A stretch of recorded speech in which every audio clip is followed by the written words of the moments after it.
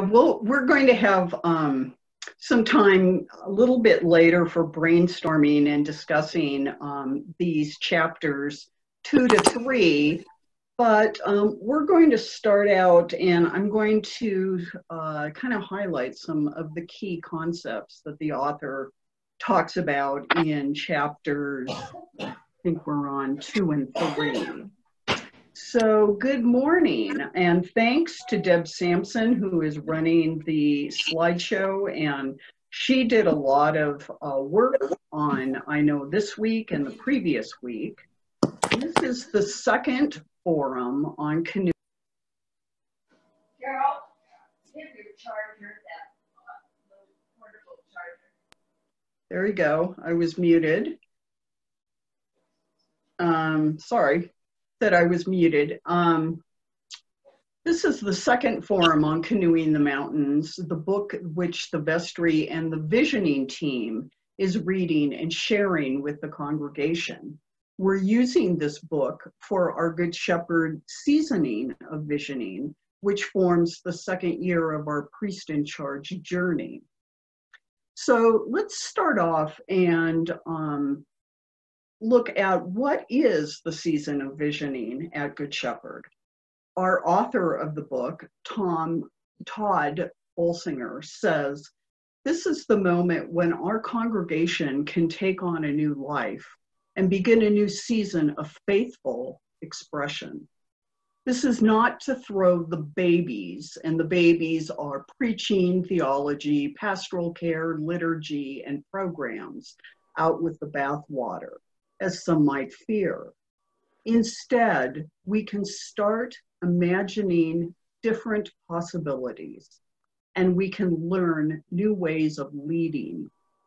And I know we're talking about leading and Christian leadership here, and you may not consider yourself a leader, but please know that we are all experiencing the world now as volatile, uncertain, complex, and ambiguous. And that was even before COVID. The very process of navigating and thriving in this world, in mission for God, is transformational and requires the vocational transformation of the whole church as we jointly participate in God's transforming work in the world. So, as we discussed here last week, we are now discovering new ways of doing church. The online community, renewing the daily office, and expressing gratitude outside of the Eucharist, to name a few. And remember last week when we learned that Lewis and Clark's expedition was built on a completely false expectation. They believed, like everyone before them, that the unexplored West was the same geography as the familiar East. So let's keep that in mind as we explore the book further.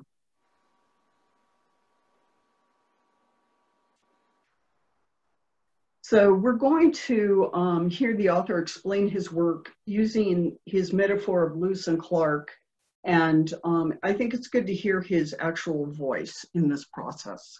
So Deb, go ahead and start him and I'm not hearing him, so you might want to. Yeah, Deb, you when when when you when you've gone to share, you have to make sure that the computer sound is sent out. Did that help when I quit when I unmuted myself? I found over and over again. Well, it's when I get a moment what? I would often hear this same whisper complaint. Why didn't seminary it's not coming through very clear, Deb. When when you when you need when you uh, ask to share a screen down in the lower left hand corner, there will, there's something that says share computer sound, but you should be able to go into the um, into the little arrow next to share screen, advanced options, and make sure that you can share the computer sound. I don't. Video settings. Um, the little uh, where where you've got next to shared screen is the little arrow, right? And advanced sharing options. Oh, wait a minute. No. Um,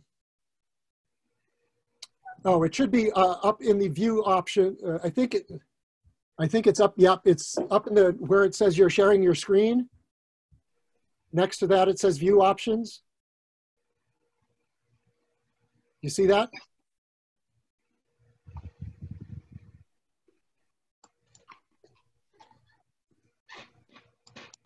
see if go to Portland, Maine to speak on Christian community, spiritual formation, and the kingdom of God. I spoke to 240 people, and then they gave them the opportunity to speak, to ask me questions after. But in the question answer time, no one wanted to speak about those topics. What everybody wanted to speak about was why is our church dying? That led me into a bit of a journey where I began to do more work in denominations and with churches. And I found that over and over again, through consulting and through coaching, when I would get a moment alone with a leader, I would often hear this same whispered complaint Why didn't seminary prepare me for this?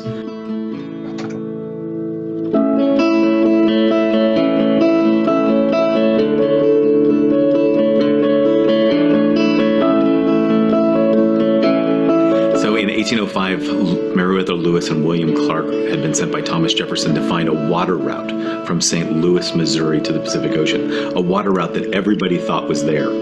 They had spent the winter with the Mandan tribe, who told them that they could find their way to the Pacific Ocean, but they would have to climb over some mountains. What they thought were Appalachian Mountains. What they found were the Rocky Mountains.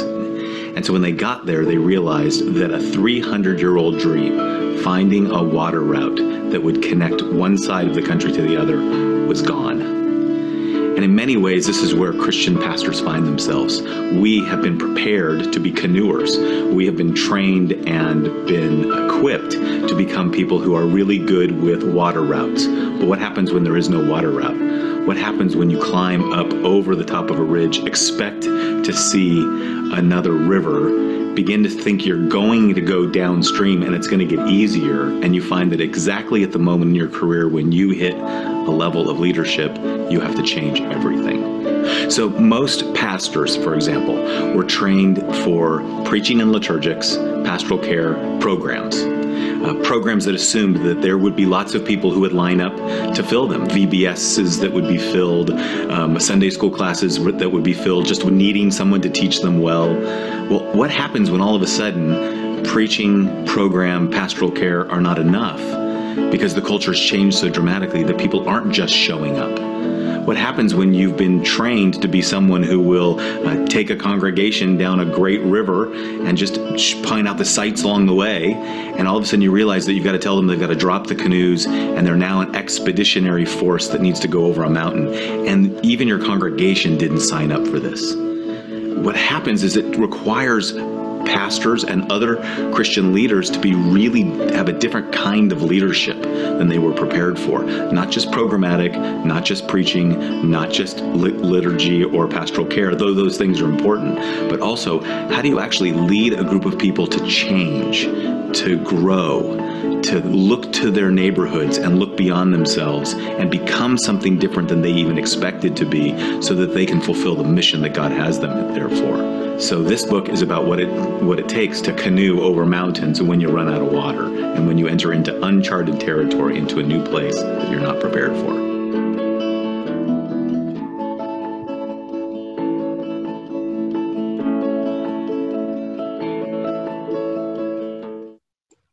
Years ago. Yep. So the author talks about these key leadership lessons that we're all struggling with now. Being trained for Christendom doesn't always prepare us to lead in uncharted territory.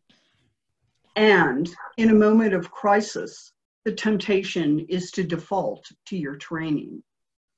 And let's talk first about what is Christendom, because we, we heard it this morning in Gary's sermon, Father Gary's sermon. I had to look it up. I had to go back and sort of figure out what he's saying. And the author actually talks about this in the book. Sociologists and theologians refer to Christendom, this recently past period of Christendom, as the 1700 year long era. Placing Christianity at the center of Western cultural life. Christendom gave us things like blue laws and Ten Commandments in schools. For most of society, these days are long gone. And we can certainly argue that if it's the practice that's gone or the ethics that is gone, or perhaps both. But it is a new era. And Sundays are more about soccer and Starbucks than the Sabbath these days. So, being trained for Christendom doesn't always prepare us to lead in uncharted territory. Here he's talking about the status quo mindset, traditional thinking and practices which support programmatic churches, still functioning as vendors of religious services for Christian culture. When confronted by the mountains of change, we canoers will default to the expectation that while looking for the water route, the mountains in the west are the same as the mountains in the east, and we will act accordingly. But remember our purpose of vocational transformation. Bolsinger says churches need to keep adventuring or they will die. We need to press on into the uncharted territory of making traditional churches into missionary churches. And that's the linchpin, being missional, embracing a certain posture, thinking, behaviors, and practices in order to reach others with the mes- message of the gospel. Being missional, which separates congregations that are primarily maintaining the old culture and practices from those fundamentally defined by their calling and sending to do God's purpose. And as Father Gary talked about in this week's video message, we need to hold on to the adventure that God has set before us now. We need to hold on to the new adventure to learn our true strengths and purpose when we come out the other side. So, with that in mind, let's take a deeper dive into the book. And Deb, if you would move ahead let's all unmute ourselves and brainstorm a list of ways that the world and the church has changed in your lifetime. And church can be the church institution, the Episcopal Church, Good Shepherd in particular. We're not going to um, limit it to a particular church. So um, Deb will capture our comments in um, the table. Go ahead, anyone. Well, I have uh, my memories of Sunday were that nothing was open, basically. Maybe the gas station, a few little things. You might, as a family, go for a ride, but otherwise it was church and home. Out to eat with family, maybe close friends, but that was it. Now it's Now everything is Sunday because that's the one day that everybody seems to be off of everything else but church. Does it capture it if I say no Sunday blue laws? Yes, it does. Okay. Well, in the church, when I was growing up, girls couldn't be acolytes. We didn't have um, women who were priests.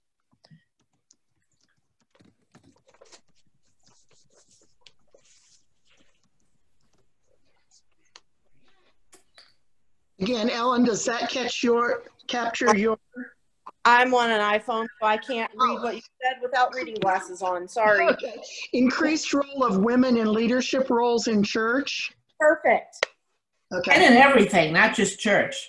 Yeah, well, you, yeah, and Deb, you've got that in the world section, although that was a church, a church comment. Okay. Let me take that out of the church and put it in, or out of the world and put it in the church.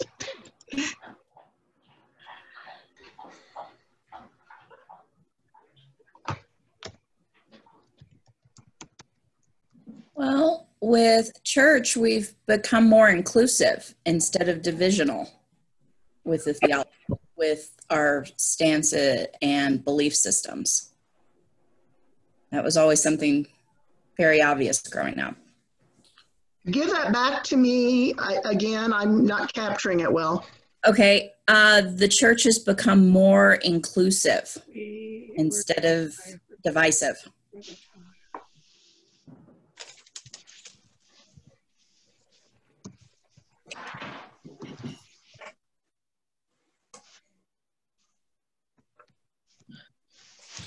Well, clearly, this is a world comment, although it's certainly affecting the church, is the fact that we're actually able to have this conversation from um, at least 30 different rooms um, scattered around. You know, the technology, uh, the, it's both a, a positive and a negative. I mean, if, if it weren't for technology, we wouldn't have COVID-19. But if it weren't for technology, we wouldn't be able to have this meeting. So it's just a thing another difference is that when I was growing up, most of the women I knew, the mothers, were at home. And now most of the mothers have uh, careers.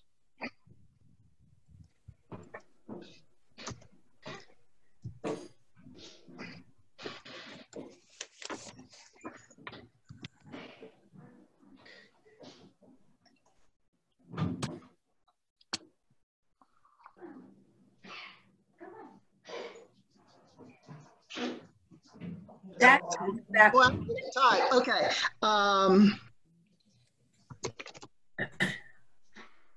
that goes back to including women in leadership roles in the community rather than just in the church. Along back in the olden days when I was a kid, uh, women had three choices. You could be a nurse, you could be a teacher, you could be a secretary. Those were it and uh, none of those really were world leadership kinds of positions. And as we have changed in the world, the church has changed too, as far as meeting it.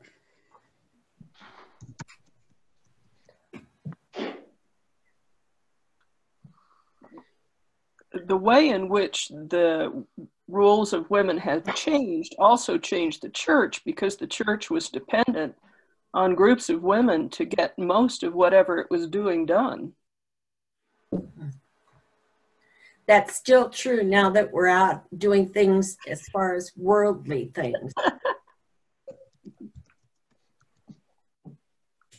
I think that's been that's been true forever and ever. Whatever needs to be done, you can count on the woman to step up and get it done because she seems to be the one who can multitask better for some for some reason or at least is willing to take take that on. I think another big change that uh, that I've seen in the church because I'm a music person um, is we've gone um, we've started to allow contemporary music. You know, we have the supplements to the hymnal, and we have some more relaxed services that when I was growing up, you just didn't have. That was what the kids did at retreats, but it was not what the adults did in a service. I think the kids just brought their retreats into the service when they came up to be adulthood, which is a good thing. I think another thing that's changed, and this isn't not it's it's not so much technology, is that the world has gotten smaller. I mean, we are a global society now. We are. It's it's not um, limited to, you know, the village and the houses around the village. It's we can't do what we do as a, as as um, as a society without dependence on things that are happening halfway across the world, and that means that we've got influences coming in um, from from different places so those can be societal in, uh, influences. They can also be religious influences. The fact that you know people talk about Jew and and things like that. That there's this this collation of of uh, of religious worldviews and things like that. We're, we're just cheek by jowl with so many different folks that we weren't when I was growing up. Um, you know, the quote minority makeup of my high school meant that there were three kids there who were not Anglos.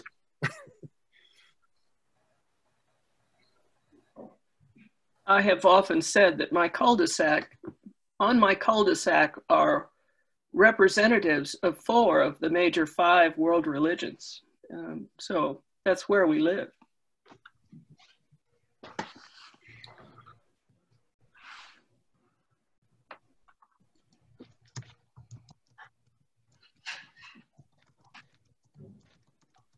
Part of the problem is that people are unwilling to change and listen to other beliefs and other societies and so forth. Even if you live with them, are you making an effort to learn about them? And I think that may be a problem in some areas of the country more than others, but that's part of the problem, I think.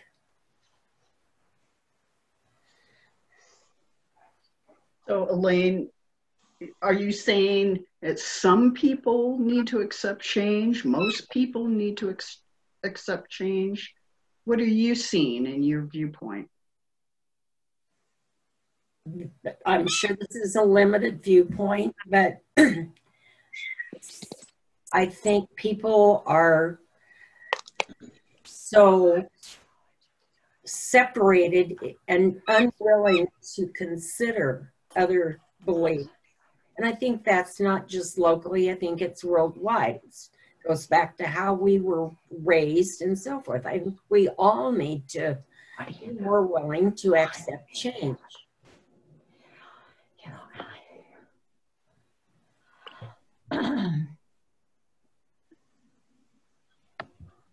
So Deb, um, when I I had to go back and get my baptismal certificate a while back, and I found out um, in 1956 I was baptized in a Methodist church in Seattle, Washington, with 50 other babies, and the church secretary told me that was very commonplace in those days to have large baptisms frequently. I'm not I'm not seeing that so much. I'm not being judgmental. I'm just putting that out there. I was kind of surprised, but um, she said that was very common. She had to go down and find my name in the book in the church basement, and it was several books for 1956 apparently. Wow. Baby boom. Mm-hmm. I wish to Mainline add church. I wish to add something on the point about more inclusive instead of divisive. I will never forget a sermon at North Presbyterian Church in Denver.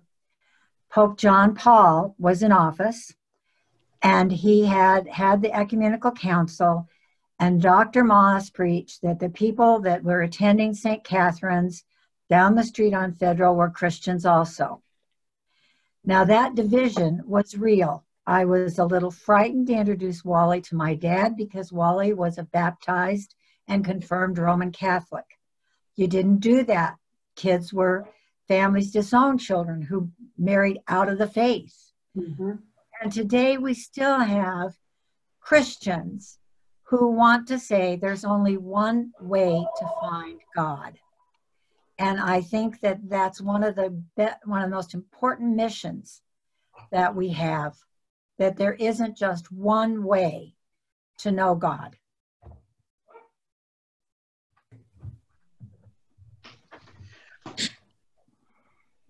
I would also say that there is um, a lot of of assumption when you say you're Christian. Uh, that it seems to me that Christianity has divided into sort of a fundamental branch and a liberal branch or progressive branch, and that if you are a member of a progressive branch and you say that you're a Christian, you will see people react to that because they have only heard of the more conservative approaches. Um, and so there's a division in Christianity, and people carry a grudge, I think, against it um, out there.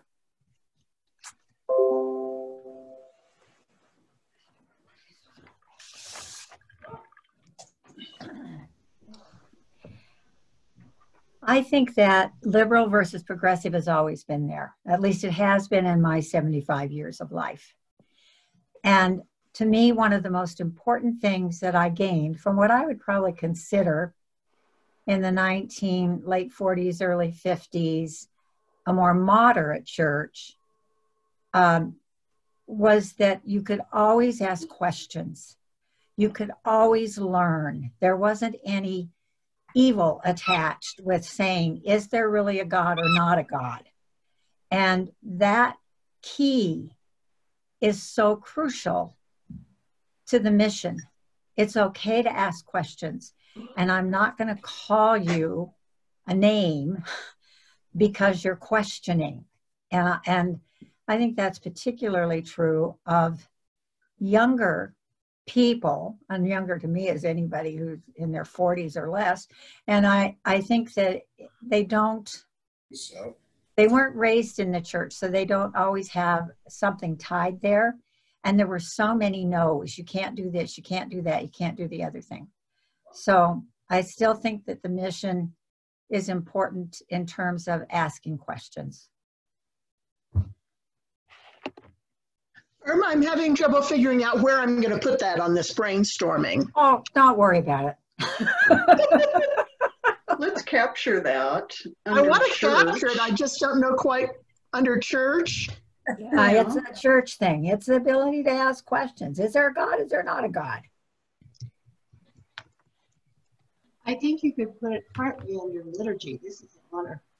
Because at baptism, one of my favorite parts is when we all pledge to uh, support the child in many ways, and including having an inquiring heart. And that that basis, that uh, thirst to look at things and uh, start maybe doubting or just not knowing or whatever, uh, starts at the very beginning of, uh, in a sense, a person's life in the church. And maybe we don't um, talk about that enough. I don't know.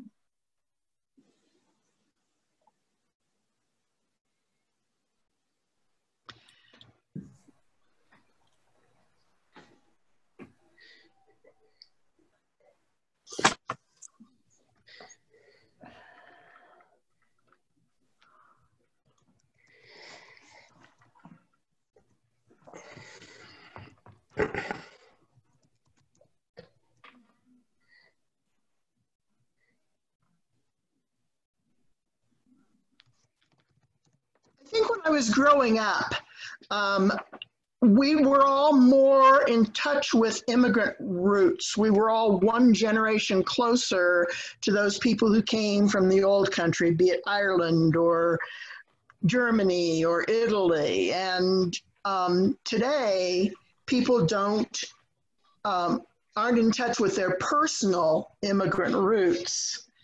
Um, and I think that that leads to that division of you know, um, being American, not German American. Deb, I would disagree with that. I would say that the European immigrant folk may not be so tied into where, where their immigrant immigrant uh, roots are, but I would say that folks from South Asia or uh, the Middle East or South America, Latin America, probably are still pretty well tied. I would. Um, yeah, I, I, don't think I said that very well, but I think I, I think um, when you are in in touch with your European immigrant roots, it makes you more accepting of immigrants with other roots, which might be African or whatever. I, I don't know about that yeah, I, I'm not so, so sure of that either, because I am half Swedish, a quarter Danish, and a quarter all Alsace Lorraine French, and I've known that all my life. And I, I, um, my grandmother Johnson was unhappy that my father was going to marry a non-Swede. so that business has been around, but she also said to her children, I'm not teaching you Swedish, you're American, you're learn English.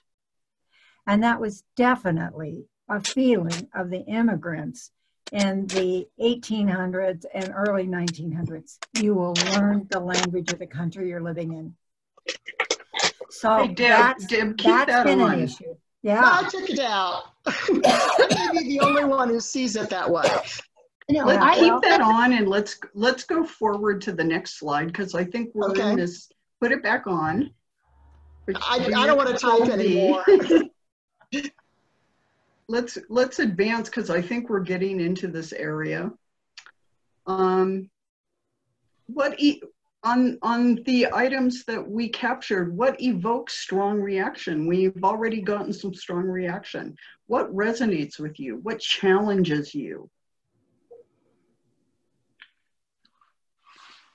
Deb, can you can you answer that?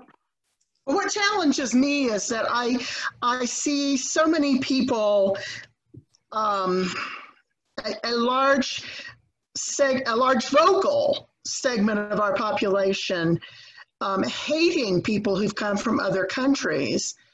And I know darn good and well, many of them are second or third generation away from their own immigrant roots. And so when you can't when you're when you're not thinking about your own immigrant roots, it's easier to be um, hateful toward other immigrants. I think. Deb, I think part of that may come because as various waves of immigrants came in, they were they came in as the lowest group on the totem pole, so to speak.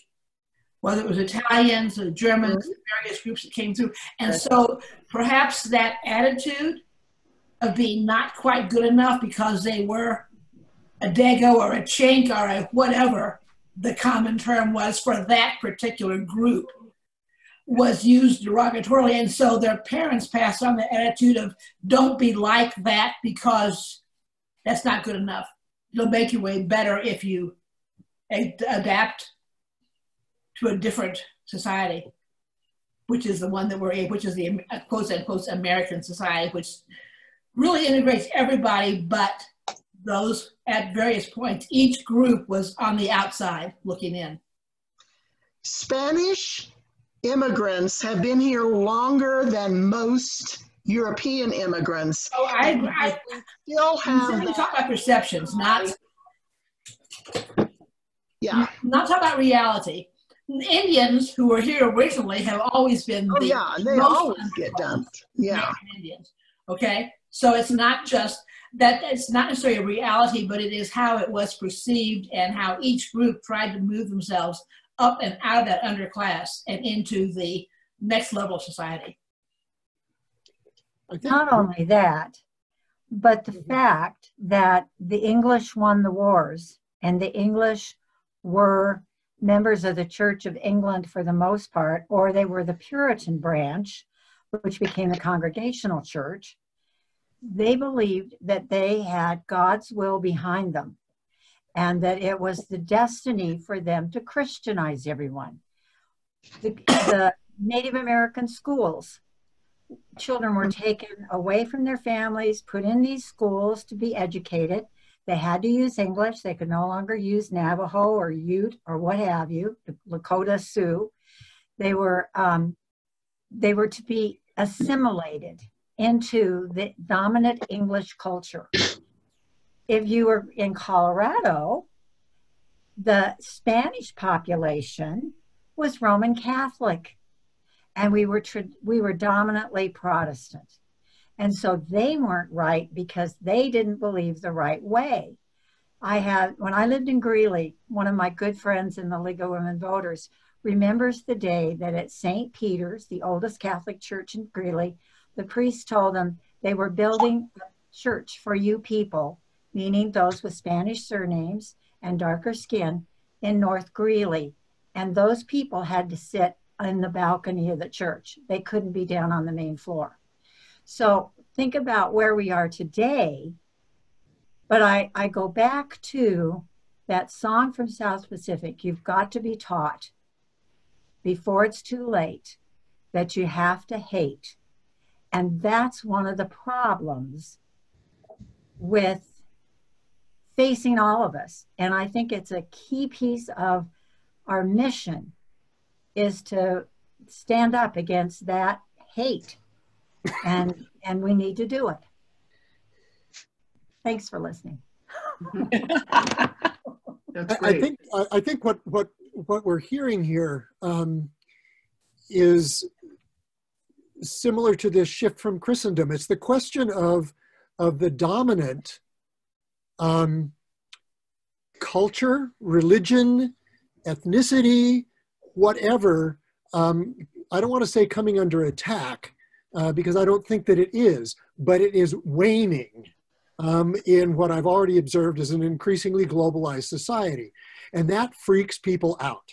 And um, and so the the U.S. has been um, predominantly Anglo, whether that's been Roman Catholic or Protestant, it's been predominantly Anglo, and so regardless of your original roots, you start looking at other people who don't look that way, and they're the problem. Um, whether they're coming from south of the border or whether they're coming across the Pacific or coming across the Atlantic. So whether it's that or oh golly, Christianity doesn't look like it used to, I think we've got to deal. What's changing, and this is the point about Christendom. What's changing is that reality is gone, and so many of us are unwilling to let go of it. Rant off. now that's great. Let's let's ask ourselves in what ways have we been unprepared to lead in or we have been prepared to lead in this changing world and in what ways do we feel ill-equipped? And I will just offer up this what I read about COVID adversely affecting certain populations in our country I feel, you know, I'm able to work from home in my cozy white collar job. I don't go out. I'm not on the front lines. I, I don't face that. So I'm having a very different COVID experience that than um, first responders, healthcare providers, and minorities in this country. It makes me feel ill equipped. Anybody else have an idea?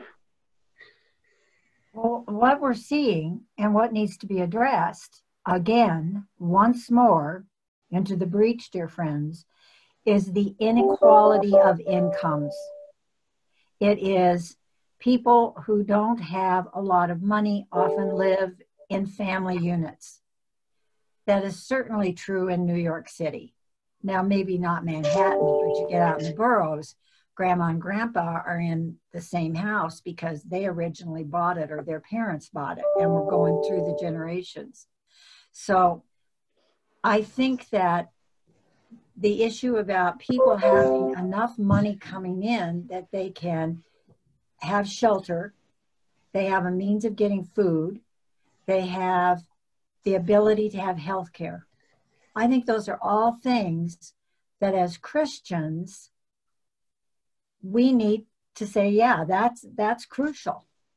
Because if those basic needs aren't met, then we're not going to get any any further. And it's hard to say, well, I don't want to support some lazy bum sitting on the couch eating potato chips or whatever. That's not true of most people who are in that economic bracket. It is absolutely not true. It's a stereotype. So I, I think that we're seeing the price of the income inequality that we have in this country. Sorry, I'm so preachy. Part of the uh, thing we're reading about with COVID now about different populations being more affected goes back to the housing situation because yes. they are not able to socially distance. There may be eight or 10 of them crammed in a two bedroom house or with, so that's part of the problem. And that leads to the reporting of the cultural differences. But that's not just cultural because the other population largely impacted by this COVID are senior citizens in what we used to call nursing homes or in group living situations. Um, and there, that's a huge, huge percentage of the deaths from COVID 19. Well, the Native American population has also been very um, Mhm. hard hit, and they tend to live more in um, unique family groups, individual family groups, and have somewhat more space, particularly in the reservations, which is where the biggest hit has occurred. But they don't have the facilities to do the sort of hygiene that, because they don't have running water, for example, many times out in the middle of nowhere. So they really get it. They're just everybody's everybody there is going to have it. Plus, they don't have the good, the better health to start with. They don't have the better health. They haven't had better health care all along. That many of us have been fortunate enough to enjoy. I think one of the biggest like problems right now is communicating with people who might not have the technology, but also students who have like this idea of how things are going to work out and then they change and you don't know how to deal with it or the teachers who all of a sudden just have to learn how to teach online. I think that there are problems with other situations, but I think a lot of it has to do with the education system. Okay.